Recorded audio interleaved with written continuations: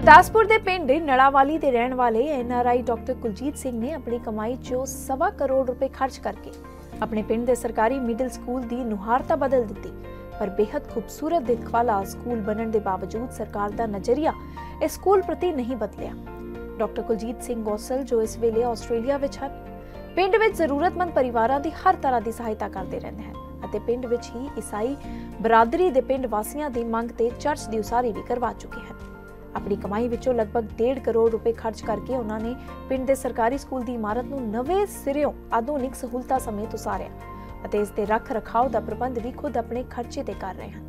ਸ਼ਾਨਦਾਰ ਬਿਲਡਿੰਗ ਬਣਨ ਦੇ ਬਾਵਜੂਦ ਪੜੋ ਪੰਜਾਬ ਪੜਾਓ ਪੰਜਾਬ ਜਿਹੇ ਨਾਰੇ ਦੇਣ ਵਾਲੀ ਪੰਜਾਬ ਸਰਕਾਰ ਵੱਲੋਂ ਇਸ ਖੂਬਸੂਰਤ ਸਕੂਲ ਵਿੱਚ ਲੋੜ ਮੁਤਾਬਕ ਅਧਿਆਪਕਾਂ ਦੀ ਗਿਣਤੀ ਨਹੀਂ ਵਧਾਈ, ਜਿਸ ਕਾਰਨ ਸਕੂਲ ਵਿੱਚ ਵਿਦਿਆਰਥੀਆਂ ਦੀ ਗਿਣਤੀ ਵੀ ਜ਼ਿਆਦਾ ਨਹੀਂ ਵੱਧ ਪਾ ਰਹੀ ਹੈ। ਮੇਰਾ ਨਾਮ ਕਰਨਜੀਤ ਸਿੰਘ ਹੈ ਜੀ। ਮੈਂ ਪਿਛਲੇ 15 ਸਾਲ ਤੋਂ ਇਸ ਸਕੂਲ ਵਿੱਚ ਪੜ੍ਹਾ ਰਿਹਾ ਸੀ। ਜਦੋਂ ਤੋਂ ਸਕੂਲ ਦੀ ਨਵੀਂ ਬਿਲਡਿੰਗ ਬਣੀ ਉਦੋਂ ਤੋਂ ਬੱਚਿਆਂ ਦੀ ਗਿਣਤੀ 'ਚ ਹਰ ਸਾਲ ਵਾਧਾ ਹੀ ਹੁੰਦਾ ਰਿਹਾ। ਤੇ ਸ਼ੁਰੂ ਵਿੱਚ 37 38 ਬੱਚੇ ਨੇ ਸਾਡੇ ਕੋਲ ਤੇ ਹੌਲੀ ਹੌਲੀ ਵੱਧਦੇ ਵੱਧਦੇ ਅੱਜ 100 ਕੋਈ 2 3 4 4 ਕੁ ਬੱਚੇ 104 ਕੁ ਬੱਚੇ। ਤੇ ਟੀਚਰ ਨੇ ਜੋ ਸਾਡੇ ਮਤਲਬ ਈ ਪੰਜਾਬ ਪੋਰਟਲ ਦੇ ਮੁਤਾਬਕ ਸਾਡੇ ਸਕੂਲ ਦੇ ਵਿੱਚ ਪੰਜ ਟੀਚਰ ਨੇ। ਪਰ ਇਸ ਵੇਲੇ ਸਕੂਲ ਦੇ ਵਿੱਚ ਤਿੰਨ ਟੀਚਰ ਹੀ ਕਾਰਜ ਕਰ ਰਹੇ ਨੇ ਤੇ ਦੋ ਟੀਚਰਾਂ ਦੀ ਫੀਲਡ ਦੇ ਵਿੱਚ ਡਿਊਟੀ ਲੱਗੀ ਹੋਈ ਹੈ ਜੋ ਕਿ ਇੱਥੇ ਨਹੀਂ ਪਹੁੰਚ ਰਹੇ ਆਪਣੀ ਡਿਊਟੀ ਤੇ ਜਾ ਰਹੇ ਨੇ।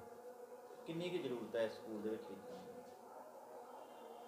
ਪਰ ਜਿਸ ਹਿਸਾਬ ਨਾਲ ਸਾਡੇ ਸਕੂਲ ਦੀ ਬਿਲਡਿੰਗ ਡਾਕਟਰ ਸਾਹਿਬ ਵੱਲੋਂ ਤਿਆਰ ਕਰਾਈ ਗਈ ਹੈ ਆਪਣੀ ਮਤਲਬ ਨਿੱਜੀ ਦਿਲਚਸਪੀ ਲੈ ਕੇ ਸਾਰੇ ਪਰਿਵਾਰ ਵੱਲੋਂ ਹੀ। ਤੇ ਉਸ ਦੇ ਮੁਤਾਬਕ ਸਰਕਾਰ ਵੱਲੋਂ ਕੋਈ ਜ਼ਿਆਦਾ ਸਾਨੂੰ ਸਪੋਰਟ ਨਹੀਂ ਕੀਤੀ ਗਈ। ਸਾਨੂੰ ਸਿਰਫ ਸਰਕਾਰ ਨੂੰ ਇਹੋ ਜ਼ਰੂਰਤ ਸੀ ਕਿ ਸਾਡੇ ਸਕੂਲ ਦੇ ਵਿੱਚ ਟੀਚਰ ਪੂਰੇ ਕੀਤੇ ਜਾਂਦੇ ਹਰ ਕਲਾਸ ਦੇ ਵਿੱਚ ਇੱਕ ਟੀਚਰ ਹੋਵੇ ਇੱਥੇ। ਇੱਥੇ ਬੱਚਿਆਂ ਦੀ ਗਿਣਤੀ ਅੱਜ 100 ਹੈ ਜਾਂ 102 ਹੈ। ਇਹ 200 ਜਾਂ 250 ਵੀ ਹੋ ਸਕਦੀ ਹੈ। ਸਿਰਫ ਤੇ ਸਿਰਫ ਟੀਚਰਾਂ ਦੀ ਘਾਟ ਕਰਕੇ ਬੱਚਿਆਂ ਦੀ ਗਿਣਤੀ ਨਹੀਂ ਵਧ ਰਹੀ। ਕਈ ਵਾਰੀ ਕੋਈ ਬੱਚੇ ਦਾਖਲ ਹੋਣ ਉਪਰੰਤ ਵੀ ਔਰ ਲੋਕੀ ਫਿਰ ਧਿਆਨ ਨਹੀਂ ਦਿੰਦੇ ਕਿ ਬੱਚਿਆਂ ਦਾ ਵੱਲ ਪੂਰਾ ਧਿਆਨ ਨਹੀਂ ਦਿੱਤਾ ਜਾਂਦਾ ਕਿ ਟੀਚਰਾਂ ਦੀ ਬਹੁਤ ਘਾਟ ਹੈ।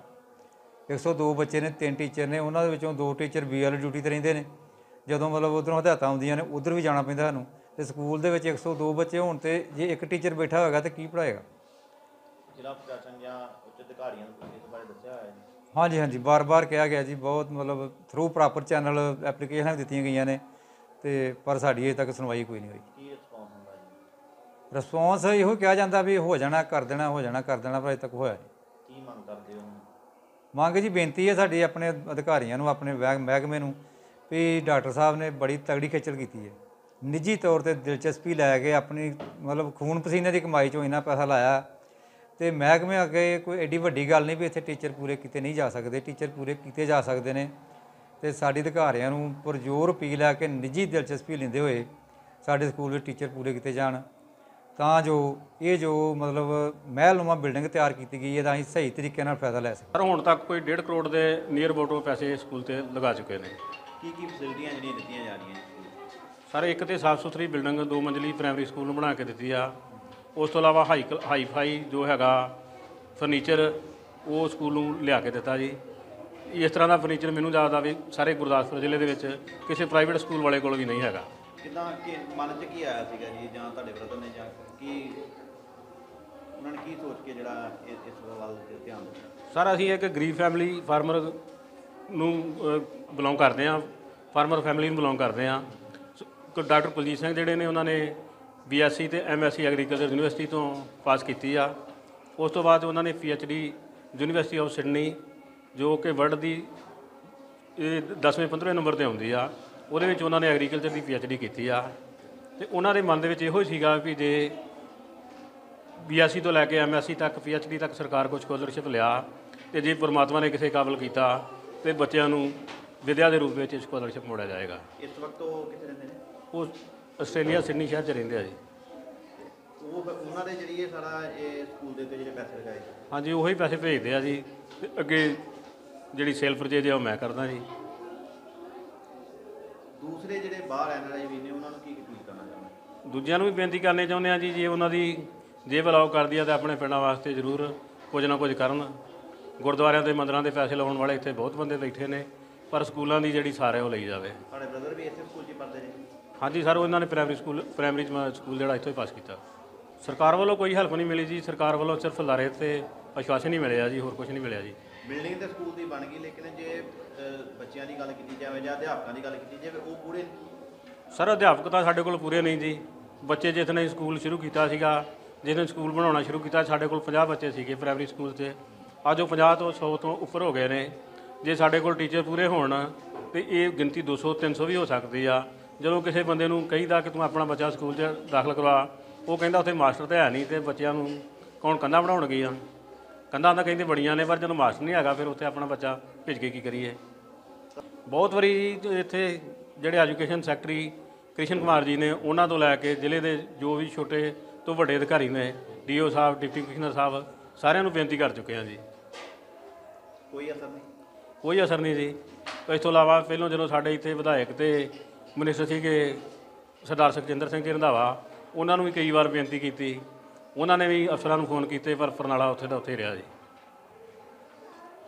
ਕੀ ਲੱਗਦਾ ਕਮੀ ਕਿੱਥੇ ਹੈ? ਕਮੀ ਤਾਂ ਸਰ ਮੈਨੂੰ ਲੱਗਦਾ ਕਿ ਸਰਕਾਰ ਚਾਹੁੰਦੀ ਨਹੀਂ ਕਿ ਸਰਕਾਰੀ ਜਿਹੜਾ ਢਾਂਚਾ ਇਹ ਬਣਿਆ ਰਵੇ ਇਹ ਪ੍ਰਾਈਵੇਟ ਹੱਥਾਂ 'ਚ ਚਲੇ ਜਾਵੇ ਮੇਰਾ ਤਾਂ ਦਿਮਾਗ ਇਹੋ ਸੋਚਦਾ ਜੀ। ਸਰ ਉਹ ਪ੍ਰਬੰਧ ਤਾਂ ਹੁਣ ਅਸੀਂ ਤਾਂ ਲੋਕੀ ਪਹਿਲਾਂ ਕਹਿੰਦੇ ਸੀਗੇ ਵੀ ਇੱਥੇ ਸਾਡੇ ਬੱਚਿਆਂ ਨੂੰ ਟਾਟ ਤੇ ਬਹਿਣਾ ਪੈਂਦਾ, ਉਤੋਂ ਮਕਾਨ ਚ ਹੁੰਦਾ ਛੱਤ ਡਿੱਗ ਵੀ ਸਾਡਾ ਬੱਚਾ, ਮੰਨ ਲਓ ਕੋਈ ਮਿਸਹੈਪਨਿੰਗ ਪਿਲਿੰਗ ਹੋ ਸਕਦੀ ਆ। ਉਹ ਤਾਂ ਸਭ ਕੁਝ ਡਾਕਟਰ ਸਾਹਿਬ ਨੇ ਮੰਨ ਲਓ ਇਸ ਗੱਲ ਨੂੰ ਮੰਨ ਲਓ ਪੂਰਾ ਕਰਤਾ। ਡਾਕਟਰ ਸਾਹਿਬ ਜਦੋਂ ਇੱਥੇ ਪਿੰਡ ਆਉਂਦੇ ਸੀਗੇ, ਇੱਥੇ ਵੇਂਦੇ ਸੀਗੇ ਕਿ ਜੋ ਗਰੀਬਾਂ ਦੇ ਬੱਚੇ ਨੇ, ਉਹ ਇੱਥੇ ਟਾਟਾਂ ਦੇ ਬਹਿ ਕੇ ਪੜ੍ਹਦੇ ਨੇ।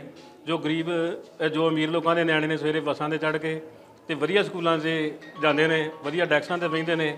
ਡਾਕਟਰ ਸਾਹਿਬ ਕਹਿੰਦੇ ਸੀ ਕਿ ਮੇਰੇ ਮਨ 'ਚ ਦਰਦ ਉੱਠਦਾ ਕਿ ਜੋ ਗਰੀਬ ਦਾ ਬੱਚਾ ਇੱਥੇ ਮੰਨ ਲਓ ਤੱਪੜ ਤੇ ਬਹਿ ਕੇ ਪੜਦਾ ਕਿ ਉਹ ਸੋਚਦਾ ਕਿ ਸ਼ਾਇਦ ਮੇਰੇ ਵਾਸਤੇ ਵੀ ਕੋਈ ਬਣਿਆ। ਡਾਕਟਰ ਸਾਹਿਬ ਉਹਨਾਂ ਵਾਸਤੇ ਮਸੀਹਾ ਬਣ ਕੇ ਆਏ ਨੇ। ਘੱਟੋ ਘੱਟ ਉਹਨਾਂ ਨੂੰ ਮੰਨ ਲਓ ਤੱਪੜਾਂ ਤੋਂ ਲਿਆ ਕੇ ਵਧੀਆ ਬਿਲਡਿੰਗ ਤੇ ਵਧੀਆ ਡੈਕਸਾਂ ਤੇ ਬਾਤਾ ਇਹ ਤਾਂ ਹੁਣ ਸਰਕਾਰ ਦੀ ਸਰ ਤੁਸੀਂ ਹੈਗੇ ਜੋ। ਅਪੀਲ ਕਰਨਾ ਚਾਹੋਗੇ ਸਰਕਾਰ ਨੂੰ? ਅਪੀਲ ਤਾਂ ਸਰ ਸਰਕਾਰ ਨੂੰ ਇਹੀ ਕਰਨੇ ਚਾਹੁੰਦੇ ਆ ਕਿ ਪੈਸਿਆਂ ਦੀ ਸਾਡੇ ਵੱਲੋਂ ਕੋਈ ਕਮੀ ਨਹੀਂ। ਜੋ ਇਨਫਰਾਸਟ੍ਰਕਚਰ ਜੋ ਹੋਰ ਵੀ ਤੁਹਾਨੂੰ ਚਾਹੀਦਾ ਉਹ ਸਾਡੇ ਵੱਲੋਂ ਮੁਹੱਈਆ ਕਰਵਾ ਕੇ ਦਿੱਤਾ ਜਾਏਗਾ। ਤੁਸੀਂ ਟੀਚਰਾਂ ਦੀ ਜਿਹੜੀ ਆ ਉਹ ਕਮੀ ਪੂਰੀ ਕਰੋ ਤੇ ਸਾਡੇ ਸਕੂਲ ਨੂੰ ਜਿਹੜਾ ਵਾ ਹਾਈ ਸਕੂਲ ਤੱਕ ਅਪਗ੍ਰੇਡ ਅਪਗ੍ਰੇਡ ਕਰੋ। ਕਿਉਂਕਿ ਜੋ ਬੱਚੇ ਗਰੀਬ ਨੇ, ਇਹ ਬਹੁਤ ਮੰਨ ਲਓ ਆਪਣੀਆਂ ਲੜਕੀਆਂ ਨੂੰ ਦੂਰ ਭੇਜਣ ਕੋਲੋਂ ਹੀ ਉਹਨਾਂ ਦੀ ਜਿਹੜੀ ਪੜ੍ਹਾਈ ਆ, ਲੱਕ ਦੇ ਵਿੱਚ ਰਹਿ ਜਾਂਦੀ ਆ। ਇਸ ਕਰਕੇ ਸਾਡੀ ਤੇ ਪ੍ਰਸ਼ਾਸਨ ਨੂੰ ਇਹੋ ਮੰਗਿਆ ਜੀ, ਇੱਕ ਤੇ ਟੀਚਰਾਂ ਦੀ ਕਮੀ ਪੂਰੀ ਕਰੋ। ਜਹਾਜ਼ ਤਾਂ ਤਾਂ ਹੀ ਉਡਾਇਆ ਜਾ ਸਕਦਾ ਜੇ ਜਹਾਜ਼ ਦੇ ਵਿੱਚ ਸਟਾਫ ਹੋਵੇਗਾ। ਜੇ ਜਹਾਜ਼ ਕੋਲ ਡਰਾਈਵਰ ਨਹੀਂ ਤੇ ਜਹਾਜ਼ ਉੱਥੇ ਖਲੋਤਾ ਕੀ ਕਰੇਗਾ ਜੀ? ਜਹਾਜ਼ ਤਾਂ ਆਪਾਂ ਲੈਤਾ ਪਰ ਹੁਣ ਚਲਾਉਣਾ ਤਾਂ ਡਰਾਈਵਰ ਨੇ ਆ। ਸਾਡੀ ਸਰਕਾਰ ਨੂੰ ਇਹੋ ਅਪੀਲ ਹੈ ਵੀ ਸਾਨੂੰ ਡਰਾਈਵਰ ਲੈ ਕੇ ਦਿੱਤੇ ਜਾਣ। ਜਿੰਨੀ ਛੇਤੀ ਹੋ ਸਕਦਾ ਜੀ। ਸਰ ਮੇਰਾ ਨਾਮ ਮਨਜਿੰਦਰ ਸਿੰਘ ਹੈ। ਮੈਂ ਕੋਈ ਤਕਰੀਬਨ ਡੇਢ ਕੁ ਸਾਲ ਤੋਂ ਇਸ ਸਕੂਲ ਵਿੱਚ ਆਪਣੀਆਂ ਸੇਵਾਵਾਂ ਨਿਭਾ ਰਿਹਾ ਜੀ। ਇਹ ਪਹਿਲਾਂ ਸਕੂਲ ਦੇ ਹਾਲਾਤ ਕਿਵੇਂ ਦੇ ਸਨ ਤੇ ਅੱਜ ਸਕੂਲ ਦੇ ਹਾਲਾਤ ਕਿੱਦਾਂ ਦੇ ਨੇ? ਹਾਂ ਸਰ ਪਹਿਲਾਂ 2018 ਤੋਂ ਪਹਿਲਾਂ ਤੇ ਸਕੂਲ ਦੀ ਬਿਲਡਿੰਗ ਦੀ ਹਾਲਤ ਬਹੁਤ ਹੀ ਖਸਤਾ ਸੀ। ਤੇ ਉਸ ਤੋਂ ਬਾਅਦ ਇਸੇ ਸਕੂਲ ਤੋਂ ਪੜ੍ਹੇ ਡਾਕਟਰ ਕੁਲਜੀਤ ਸਿੰਘ ਗੋਸਲ ਉਹਨਾਂ ਨੇ ਆਪ ਇਸ ਬਿਲਡਿੰਗ ਦੀ ਸੇਵਾ ਕੀਤੀ ਹੈ ਤੇ ਪ੍ਰਾਇਮਰੀ ਸਕੂਲ ਦੇ ਉੱਪਰ ਕੋਈ 85 ਲੱਖ ਦੇ ਕਰੀਬ ਲਗਾ ਕੇ ਇਹ ਸਕੂਲ ਦੀ ਨੁਹਾਰ ਹੀ ਬਦਲਤੀ ਹੈ ਜੀ। ਇਸ ਟਾਈਮ ਇਹ ਡਬਲ ਸਟੋਰੀ ਬਿਲਡਿੰਗ ਹੈ ਜੀ ਇੱਥੇ ਸਕੂਲ ਵਿੱਚ। ਟੋਟਲ ਕਿੰਨੇ ਪੈਸੇ ਲਗਾਏ ਜਾ ਚੁੱਕੇ ਨੇ? ਟੋਟਲ ਸਰ 85 ਲੱਖ ਰੁਪਏ ਤੇ ਇੱਥੇ ਲਾਤਾ ਵੇ ਨਾ ਕੋਈ 50 ਤੋਂ 55 ਲੱਖ ਜਿਹੜੀ ਮਿਡਲ ਸਕੂਲ ਦੀ ਬਿਲਡਿੰਗ ਆ ਉਸ ਉੱਪਰ ਵੀ ਲਗਾਏ ਆ ਨਾ। ਕੋਈ ਮਤਲਬ ਅਰੇ ਕੰਮ ਥੋੜਾ ਚੱਲ ਰਿਹਾ 6-7 ਮਹੀਨੇ ਤੋਂ ਤਾਂ ਕੰਮ ਚੱਲ ਰਿਹਾ ਵਾ। ਅਜੇ ਵੀ ਕੰਮ ਗੋਇੰਗ ਹੋਣੀ ਆ। ਤੇ ਕੋਈ ਮੈਨੂੰ ਲੱਗਦਾ ਵਾ ਕਿ ਉਹ 1.5 ਕਰੋੜ ਦੇ ਕਰੀਬ ਪਹੁੰਚ ਜਾਏਗਾ ਜੀ। ਸਕੂਲ 'ਚ ਕੀ ਕੀ ਫੈਸਿਲਿਟੀਆਂ ਜਿਹੜੀਆਂ ਪ੍ਰੋਵਾਈਡ ਨੇ ਫੈਸਿਲਿਟੀਆਂ ਇੱਕ ਸਭ ਤੋਂ ਵੱਡੀ ਗੱਲ ਤੇ ਸਕੂਲ ਦੀ ਬਿਲਡਿੰਗ ਬਹੁਤ ਹੀ ਜ਼ਿਆਦਾ ਸ਼ਾਨਦਾਰ ਆ। ਇਸ ਤਰ੍ਹਾਂ ਦਾ ਮਟੀਰੀਅਲ ਤੇ ਕੋਈ ਆਪਣੇ ਘਰ ਨਹੀਂ ਲਗਾਉਂਦਾ ਜਿਸ ਤਰ੍ਹਾਂ ਦਾ ਮਟੀਰੀਅਲ ਇਸ ਬਿਲਡਿੰਗ ਉੱਪਰ ਲੱਗਾ ਵਾ। ਡਾਕਟਰ ਸਾਹਿਬ ਦਾ ਵੀ ਕਹਿਣਾ ਹੈ ਕਿ ਜਿੱਥੇ 100 ਰੁਪਏ ਲੱਗਦਾ ਉੱਥੇ 90 ਨਹੀਂ ਲਾਉਣੇ 110 ਰੁਪਏ ਲਗਾਉਣੇ ਆ। ਤੇ ਕਿਸੇ ਵੀ ਮਟੀਰੀਅਲ ਵਿੱਚ ਕੰਪਰੋਮਾਈਜ਼ ਨਹੀਂ ਕਰਨਾ। ਜਿਹੜਾ ਇੱਥੇ ਸਰ ਉਹਨਾਂ ਫਰਨੀਚਰ ਮੰਗਾਇਆ ਵਾ, ਮੈਨੂੰ ਨਹੀਂ ਲੱਗਦਾ ਕਿਸੇ ਪ੍ਰਾਈਵੇਟ ਸਕੂਲ ਦੇ ਵਿੱਚ ਵੀ ਇਸ ਤਰ੍ਹਾਂ ਦਾ ਫਰਨੀਚਰ ਹੋਏਗਾ। ਔਰ ਇਹਨਾਂ ਇੱਥੇ ਚ- 24 ਘੰਟੇ ਬਿਜਲੀ ਦੀ ਸਹੂਲਤ ਵਾਸਤੇ ਹਾਈ ਵੋਲਟੇਜ ਦਾ ਇਨਵਰਟਰ ਲਾਇਆ ਹੋਇਆ ਵਾ ਸਮਰਸੀਬਲ 300 300 ਫੀਟ ਬੋਰ ਦਾ ਸਮਰਸੀਬਲ ਬੋਰ ਕਰਾ ਕੇ ਦਿੱਤਾ ਵਾ। ਤੇ ਹੋਰ ਵੀ ਜਿਹੜੀਆਂ ਜਿਹੜੀਆਂ ਸਹੂਲਤਾਂ ਦੀ ਇੱਥੇ ਲੋੜ ਆ, ਉਹ ਮਤਲਬ ਹਮੇਸ਼ਾ ਤਤਪਰ ਰਹਿੰਦੇ ਆ ਵੀ ਦੱਸੋ ਤੁਹਾਨੂੰ ਕਿਹੜੀ ਚੀਜ਼ ਦੀ ਲੋੜ ਆ। ਕਿੰਨੇ ਬੱਚੇ ਨੇ ਸਕੂਲ 'ਚ ਇਸ ਟਾਈਮ ਪੜ੍ਹਦੇ ਨੇ ਤੇ ਟੀਚਰ ਕਿੰਨੇ ਨੇ? ਸਰ, ਜਦੋਂ 2018 ਤੋਂ ਪਹਿਲਾਂ ਤੇ ਇੱਥੇ 36 ਬੱਚੇ ਸੀ ਸਾਰੇ। ਇਸ ਟਾਈਮ ਕੋਈ 102 ਦੇ ਕਰੀਬ ਬੱਚੇ ਹੋ ਚੁੱਕੇ ਨੇ। ਤੇ ਅਲੱਗ-ਅਲੱਗ ਪਿੰਡਾਂ ਤੋਂ ਬੱਚੇ ਆ ਰਹੇ ਨੇ। ਉਹਨਾਂ ਵਾਸਤੇ ਵੀ ਆਟੋ ਦੀ ਸਹੂਲਤ ਦਿੱਤੀ ਗਈ ਹੈ ਡਾਕਟਰ ਸਾਹਿਬ ਵੱਲੋਂ। ਜਿਹੜਾ ਮੰਥਲੀ ਖਰਚਾ ਹੁੰਦਾ ਵਾ, ਉਹ ਵੀ ਡਾਕਟਰ ਸਾਹਿਬ ਵੱਲੋਂ ਦਿੱਤਾ ਜਾ ਰਿਹਾ ਵਾ। ਤੇ ਟੀਚਰਾਂ ਦੀ ਇੱਥੇ ਸਰ, ਸ਼ੁਰੂ ਤੋਂ ਹੀ ਪ੍ਰੋਬਲਮ ਰਹੀ ਹੈ। ਜਦੋਂ ਦਾ ਮੈਂ ਆਇਆ ਹਾਂ ਉਦੋਂ ਦਾ ਮਤਲਬ ਇਸ ਟਾਈਮ ਸਿਰਫ ਅਸੀਂ ਫਿਜ਼ੀਕਲ ਤਿੰਨ ਟੀਚਰ ਹੀ ਹਾਂ। ਤੇ ਜੇ ਅਸੀਂ ਈ ਪੰਜਾਬ ਦੇ ਉੱਪਰ ਜਾ ਕੇ ਵੇਖੀਏ ਤਾਂ ਉੱਥੇ ਸਾਡੇ ਪੰਜ ਟੀਚਰ ਬੋਲਦੇ ਨੇ। ਤੇ ਜਿਹੜੇ ਸਾਡੇ ਉੱਚ ਅਧਿਕਾਰੀ ਆ ਉਹ ਵਿਚਾਰੇ ਆਪਣਾ ਇਹੀ ਪੰਜਾਬ ਦਾ ਡਾਟਾ ਦੇਖਦੇ ਆ ਉਹ ਸੋਚਦੇ ਵੀ ਟੀਚਰ ਪੂਰੇ ਆ ਜਦ ਕਿ ਇੱਥੇ ਫਿਜ਼ੀਕਲੀ ਤਿੰਨ ਹੀ ਟੀਚਰ ਨੇ। ਤੇ ਉਹ ਤਿੰਨਾਂ ਵਿੱਚੋਂ ਵੀ ਜਿਹੜੇ ਦੋ ਟੀਚਰ ਆ ਉਹਨਾਂ ਦੀ ਵੀ ਬੀਐਲਓ ਡਿਊਟੀ ਲੱਗੀ ਹੋਈ ਆ। ਕਈ ਵਾਰ ਤੇ ਸਕੂਲ ਦੇ ਵਿੱਚ ਇੱਕ ਹੀ ਟੀਚਰ ਮੌਜੂਦ ਹੁੰਦਾ ਸਰ ਤੇ ਫਿਰ ਸਕੂਲ ਦਾ ਸਿਸਟਮ ਕਿੱਦਾਂ ਚੱਲਦਾ? ਕਿਉਂਕਿ ਇੰਨੇ ਬੱਚੇ ਕਲਾਸਾਂ ਵੀ ਹੈਗੀਆਂ ਨੇ ਵਿੱਚ ਫਿਰ ਬੱਚੇ ਕਿੱਦਾਂ ਪੜ੍ਹਦੇ ਸਿਸਟਮ ਸਾਰੇ ਇਹੀ ਤੇ ਪਰੇਸ਼ਾਨੀ ਆ। ਕਿ ਸਾਨੂੰ ਆਪ ਬੱਚਿਆਂ ਦੇ ਬਹੁਤ ਤਰਸ ਹੁੰਦਾ ਵਾ ਕਿ ਇੱਥੇ ਟੀਚਰ ਹੀ ਨਹੀਂ ਪੂਰੇ ਹੋ ਰਹੇ। ਜਦ ਤੱਕ ਟੀਚਰ ਨਹੀਂ ਪੂਰੇ ਹੁੰਦੇ ਤਦ ਤੱਕ ਬੱਚਿਆਂ ਨੂੰ ਅਸੀਂ ਅੱਗੇ ਨਹੀਂ ਲਿਜਾ ਸਕਦੇ। ਹੈਡ ਟੀਚਰ ਦੀ ਵੀ ਕਹਿ ਰਹੇ ਤੁਸੀਂ ਪੋਸਟ ਹੈਡ ਟੀਚਰ ਦੀ ਸਰ ਜਿਸ ਤਰ੍ਹਾਂ ਤੁਹਾਨੂੰ ਦੱਸਿਆ ਕਿ ਅਕਤੂਬਰ 21 ਵਿੱਚ ਇਥੋਂ ਹੈਡ ਟੀਚਰ ਰਿਟਾਇਰ ਹੋਏ ਨੇ ਤੇ ਜਦੋਂ ਕੰਮ ਕਰ ਰਹੇ ਸੀ ਉਹ ਇੱਥੇ ਮੌਜੂਦਾ ਕੰਮ ਕਰ ਰਹੇ ਸੀ ਤਾਂ ਉਦੋਂ ਹੀ ਈ ਪੰਜਾਬ ਦੇ ਉੱਪਰ ਹੈਡ ਟੀਚਰ ਦੀ ਜਿਹੜੀ ਪੋਸਟ ਆ ਉਹ ਸ਼ੋ ਨਹੀਂ ਸੀ ਹੋ ਰਹੀ। ਮੈਨੂੰ ਤਾਂ ਲੱਗਦਾ ਕੋਈ ਕਲੈਰੀਕਲ ਮਿਸਟੇਕ ਕਰਕੇ ਹੋਈ ਆ ਨਹੀਂ ਤੇ ਇਦਾਂ ਤਾਂ ਕਦੀ ਹੋ ਨਹੀਂ ਸਕਦਾ ਕਿ ਹੈਡ ਟੀਚਰ ਵਰਕਿੰਗ ਕਰ ਰਿਹਾ ਹੋਏ ਤੇ ਉਹਦੀ ਪੋਸਟ ਹੀ ਨਾ ਬੋਲਦੀ ਹੋਏ। ਕੀ ਮੰਗ ਕਰਦੇ ਹੋ ਮੰਗ ਸਰ ਅਸੀਂ ਇਹੀ ਬੇਨਤੀ ਕਰਦੇ ਇੱਕ ਤਾਂ ਸਾਡੀ ਜਿਹੜੀ ਹੈਡ ਟੀਚਰ ਦੀ ਪੋਸਟ ਆ ਉਹ ਹੀ ਪੰਜਾਬ ਦੇ ਉੱਪਰ ਸ਼ੋਅ ਕੀਤੀ ਜਾਵੇ ਤੇ ਸਾਨੂੰ ਜਲਦੀ ਤੋਂ ਜਲਦੀ ਹੈਡ ਟੀਚਰ ਭੇਜਿਆ ਜਾਵੇ ਤੇ ਜਿਹੜੀਆਂ ਸਾਡੀਆਂ ਇੱਥੇ ਟੀਚਰਾਂ ਦੀਆਂ ਪੋਸਟਾਂ ਮਤਲਬ ਫਿਜ਼ੀਕਲ ਹੀ ਪੂਰੀਆਂ ਕੀਤੀਆਂ ਜਾਣ ਨਾ ਕਿ ਈ ਪੰਜਾਬ ਦੇ ਡਾਟੇ ਦੇ ਅਕੋਰਡਿੰਗ